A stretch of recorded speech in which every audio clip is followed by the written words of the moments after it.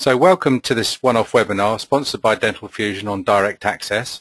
My name is Derek Watson. I'm a dentist and the Chief Executive of the Dental Fusion organisation.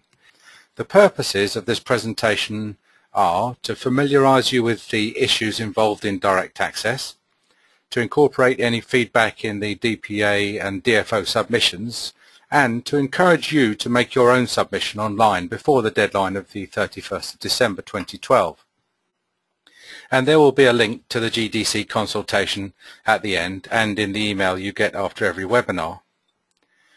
Now in May 2012 the Office of Fair Trading completed a quick and dirty eight-month market study of dentistry and these are the principal findings of the OFT report. The fact that the NHS contract is inflexible is well known and obviously helps the Department of Health argue that their own contract is flawed and needs to be replaced. Insufficient information for patients is a hangover from the OFT's last report in 2003. They can't understand why a requirement to publish price lists isn't solving all the problems in dentistry, but that is the subject of a separate GDC consultation which also closes on 31st of December and I don't propose to go into that in detail here. The pressure to join dental payment plans uh, arose because the OFT thought that capitation plans might be the next payment protection insurance scandal, but the plan providers soon put them straight on that, so that's no longer an issue. Since 25% of all NHS patients are now having some private work, unification of the NHS and private complaints procedures may be desirable, but that's probably not on the cards anytime soon. That leaves the allegation that patients are having private treatment because they don't know that they can get work done on the NHS, which is the only point that the media picked up on and is probably the least important and the least significant of the entire list, but that's the mainstream media for you. And direct access, which may have been included at the Department of Health's request to help in its attempts to loosen up the dental labour market to improve access. The OFT made it clear that it had wanted the GDC to provide direct access in 2003 and it was less than pleased to find nine years later that its will had not been done. It basically told the GDC to pull its finger out. The threat is that the Office of Fair Trading will refer dentistry to the Competition Commission. Now I don't really know why that is supposed to be a threat, but the GDC is treating it in the same way as it would treat a reference to the Spanish Inquisition, and I'll come back to that in a few slides time. The OFT said that it considered that restrictions on direct access were sufficient for it to make a reference to the Competition Commission. In other words, it met the reference tests. But that because the restrictions can be relatively swiftly addressed by the GDC, it will settle on closely monitoring progress. In a paragraph a bit further down, the OFT admits that neither it nor the Competition Commission has any powers to do anything other than recommend to the GDC what changes should be made. In other words, even if the GDC again did nothing and the, the, issue of direct access was to be referred to the Competition Commission, all it could do would be to make a recommendation, not uh, abolish or dissolve or punish or fine or legislate, just recommend and I will probably remind you of that once again once we've run through the GDC's consultation document. This webinar has been set up in response to the General Dental Council's proposals to consult on direct access, which means giving patients the option to see a dental care professional or DCP without having to see a dentist first. Dental care professionals are defined by the General Dental Council in their consultation as the people you see listed here. So the proposal is that members of the public would be allowed to make an appointment with any one of these classes of primary care dental workers without having to be referred by a dentist or even see a dentist. You will notice that they have gone slightly further than the OFT in their definition of DCPs because they want to include technicians who might, for example, need to take a shade. As part of the changes made to the Dentists Act in 2006, when DCP registration was expanded, the dental auxiliaries regulations was abolished and with it the lists of permitted duties.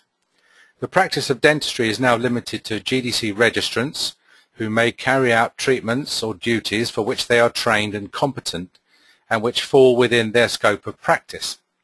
Scope of practice is a way of describing what different members of the dental team are trained to do. You can download a list of scopes from the General Dental Council. Let's have a quick look at a hygienist scope. Dental hygienists, it says, are registered dental professionals who help patients maintain their oral health by preventing and treating gum disease and promoting good oral health practice. They carry out treatment under prescription from a dentist, which is presumably what will be altered. So what could a patient who went to see a hygienist directly expect? In addition to scaling and polishing, hygienists could take radiographs, whiten teeth and give laughing gas. What they don't do, according to the GDC's own scope, is diagnose disease.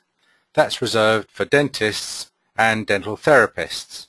So a therapist might be able to do a dentist's job of diagnosis and prescription. So let's look at a therapist scope. Dental therapists have a shorter list of duties. It includes the requirement to work under prescription from a dentist, which again would presumably be thrown out. But according to the GDC, they do not carry out a patient's initial diagnosis or take overall responsibility for planning a, a patient's treatment. So it's clear that simply removing the requirement to work under prescription is not the only obstacle. The GDC's consultation is based on the scopes as they are at the moment, not on any theoretical future scope. Most DCPs, it seems, would have to be retrained to carry out an initial diagnosis and formulate a treatment plan, and, in the hygienist's case, to diagnose disease. Now it's likely that the craft groups will argue that just because they do not do something does not mean that they cannot. Um, we may return to that later. In addition, European legislation such as the Medical Devices Directive stops technicians from prescribing dentures or bridges, so that may be an additional barrier. Here is the GDC's list of the what and who they have consulted so far. And this is the result they got from talking to people. The missing text, incidentally, is missing from their document, uh, by the way, not from this presentation. It's the way uh, that they printed it. You can see that the benefits are mainly theoretical, which is to be expected as this has not been tried before in the UK, whereas the risks are mainly practical, such as confusion over roles and responsibilities. You might also note that it is less than impressive as a piece of work. The literature tended to show that patients were happier to visit DCPs directly, it cost them less, and they visited more often, but that resources were wasted in referring back patients to see a dentist unnecessarily. An invitation to send feedback as opposed to this formal consultation, elicited 840 responses. Dental professionals outnumbering the patients by a factor of 8 to 1. So this is obviously not gripping the public as much as it is the profession. Of the 710 who replied, who were dental professionals, the majority were hygienists and therapists. More than twice as many hygienists and therapists replied as dentists. And pretty much as you would expect, given the sort of people that were responding, three quarters of them thought that hygienists and therapists should be able to see patients without seeing a dentist first. This gives you a hint as to why this consultation has been so controversial. There is a lot at stake. Direct access would open up the dentistry market to DCPs and see a big increase in their commercial potential. Dentists, at least the ones who are not unemployed, may see it as an economic threat, or they may see it as an opportunity to get on with the big crown and bridge work and implants, so they are more equivocal. The GDC has decided to base its decision on whether direct access would represent a risk to patient safety, with no regard, for example, for cost effectiveness or whether large parts of the profession might boycott any such system and they have asked questions about whether this is the correct approach. Now I don't intend to consider every single question they ask, but just focus on the important one, which is whether, all things considered, this is a good idea or not. Please, uh, if you can, try and remember this statement because that's on screen now because I'll be asking you to vote on it later. This does beg several large questions. For example, when an out-of-hours service was set up at three hospital centres in Kent, it quickly built up its own clientele. Initially, the repeat attenders were told to find a dentist, and eventually a rule had to be brought in that once a person had attended with an abscess twice for antibiotics, then they would not be seen again until they had seen a dentist. But even this did not stop people using it regularly as a convenient drop-in centre after work, and the centres were ethically unable to turn away anyone who said they were in pain. We do know there are a large number of patients who just want to scale and polish without the expense of a checkup, and as soon as they can get that without seeing a dentist, then is that all they are probably going to do? Another point is that this is not a consultation on what to do. The GDC has already decided what to do and it's summarized here. A consultation is a formality that has to be gone through before its decision can be put into effect. In thinking what to do, the GDC has to decide between the competing pressures from the OFT, the Department of Health, patients and the profession, of which the OFT is probably the strongest.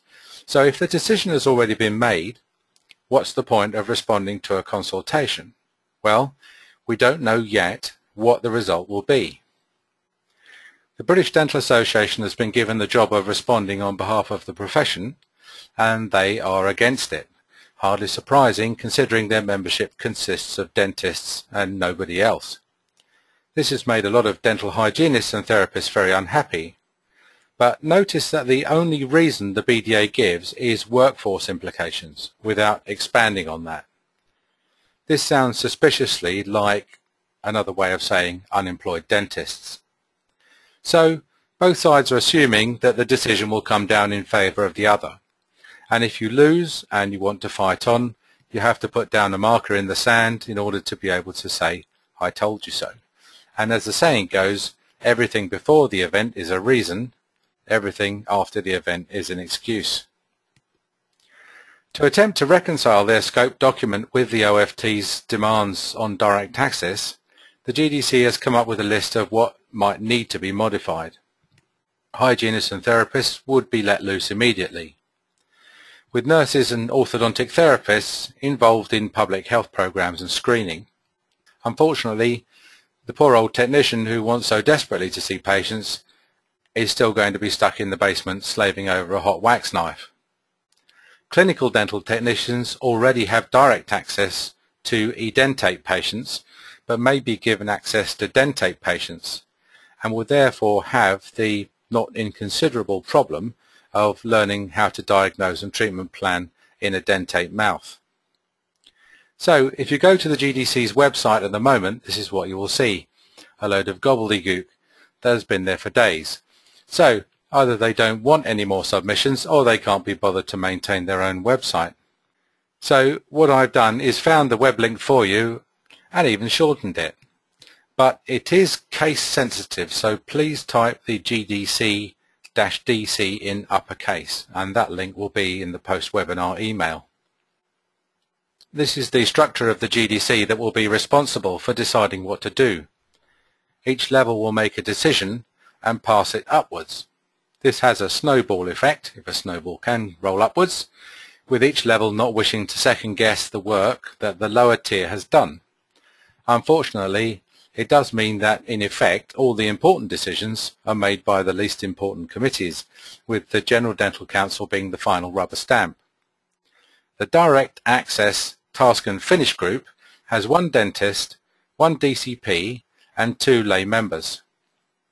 They are Paul Averley, a dentist who specialises in conscious sedation, Hazel Fraser, former president of the British Association of Dental Therapists, Rosemary Carter, a consultant solicitor, and the chairperson Anne-Marie Telford, a retired doctor from Northern Ireland. The voting dynamics of these groups can be a bit suspect. For example, in a previous group that considered removing the courtesy title doctor from dentists, the dentist in the group voted against and the other three, who were a technician and two lay members, voted in favour, meaning that the vote was carried by a majority of people that wouldn't have been affected. It's the Midlothian question in another guise. So, let's quickly summarise. The OFT is very keen on the change, possibly as a result of a strong-arm briefing from the Department of Health.